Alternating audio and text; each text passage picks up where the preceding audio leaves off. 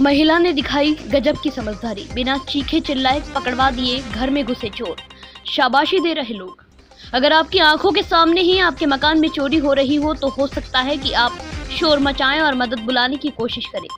लेकिन झोटवाड़ा क्षेत्र में रहने वाली एक महिला ने ऐसा कुछ नहीं किया। मकान में चोरी होती देख पुलिस को फ़ोन कर बुलाया और इस बीच मकान का दरवाज़ा बाहर से बंद कर दिया। पुलिस पहुँची और दरवाज़ा खोलकर अंदर गई तो चोर बैठा दिखाई दिया। उसके पास जेवर और कैश था।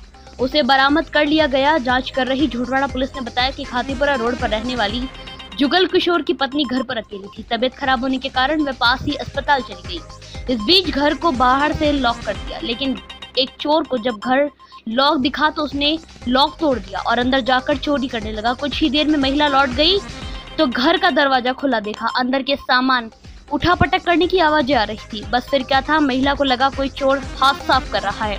बाद में पुलिस को बुला लिया गया। पुलिस ने बताया कि सोनू नाम के चोर को मकान के अंदर चोरी करते दबोचा है। उसने पहले भी चोरी की कुछ वारदातें करना कबूला है।